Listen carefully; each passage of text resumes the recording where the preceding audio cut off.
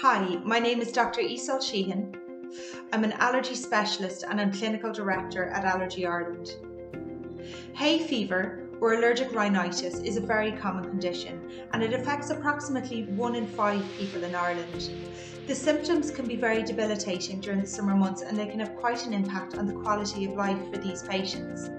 And in addition to this, at least 80% of asthmatics have comorbid allergic rhinitis, and so they also experience flare ups or exacerbations of their asthma during this time. Allergic rhinitis is underdiagnosed and it's undertreated, and as a result, um, patients can suffer um, in silence during this season. So it's paramount that as healthcare professionals, we have a good understanding of both allergic rhinitis and allergic rhinitis with comorbid asthma so that we can offer appropriate and effective management options for these patients.